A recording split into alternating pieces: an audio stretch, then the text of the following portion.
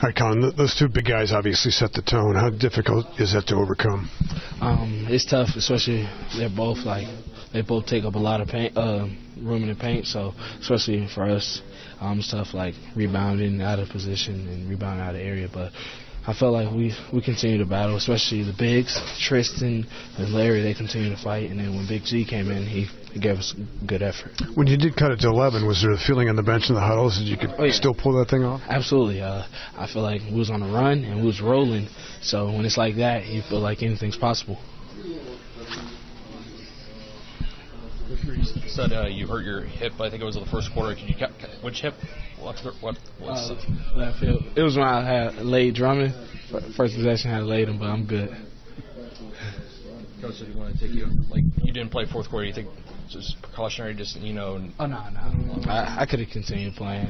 Uh, we're good. Just get ready for the next one. You seen the fruits of your labor with the jump shot? I mean, it looks looks smooth, looks contis- consistent. I'm continuing to work on it uh, each and every day. Just because um, I feel like if I'm making shots, then it's gonna open everybody, up, all my other aspects of the game, like passing the ball, um, getting to the lane, just to open up shots for my teammates also. So I gotta do my part and make sure I work on my jump shot to get it get it down.